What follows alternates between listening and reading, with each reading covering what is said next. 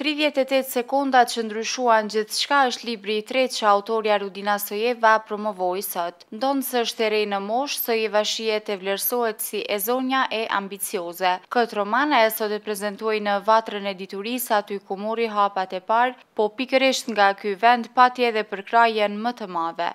Shkolla jonë, përpos që nihet sot krenare që Rudina pe bën botimin e tretë të librit mbrena objektit dhe institucionit të shkollës tonë, neve ka me na mungu jashtëzakonisht shumë Rudina. Edhe kur e them këta që jashtëzakonisht shumë, e them me bindje të plotë, nuk me tha veç unë, Pe thojnë arsimtarët, pe thojnë edhe edhe kolegë tjerë. Sinqerisht kemi nxënës të mrekullueshëm mbrenda kësaj shkolle, po Rudin nuk kena pas edhe uroj të kemi, po nuk e di nëse do kemi një Rudin siç e kena pas deri tash. Po jeta është kështu cikël, e shqyqyr që arriti klasën e nëntë, shqyqyr që arriti në këto suksese që i ka sot Rudina. Mësuesja e letërsisë Lulkuqe Sojeva Omuri po ashtu e vlerësoi autoren për guximin dhe punën që ka bërë deri tek finalizimi i librit. Si staf, si mësimdhënës, si personel, si kolektiv, gjithë jemi krenarë me të sukseset edhe me të arriturat e Rudinës.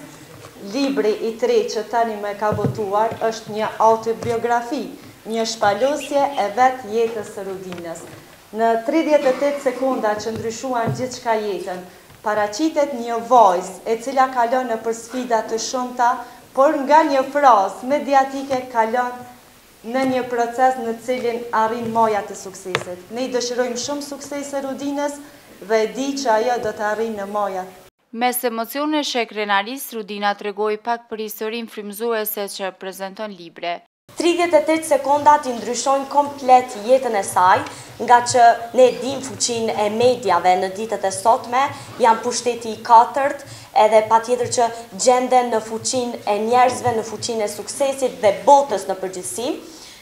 Ne e dimë që në ditët e sotme gazetarët janë gjithmonë nëpër terrene duke bërë pyetje të ndryshme, por një ditë të veçantë Borës i drejtohet një pyetje rastësisht, Edhe përgjigja që ajo kthen për sinqeritetin njerëzor bëhet meme nëpër të gjitha media sociale dhe këtu kap domethënë shancin për të qenë e suksesshme. Janë ato tridhjetë e tetë sekonda që i ndryshuan komplet, kompletësisht gjithë jetën. Jo vetëm si shkrimtare, Rudina është edhe moderatore e emisionit Kape Ëndrrën në televizionin Festina.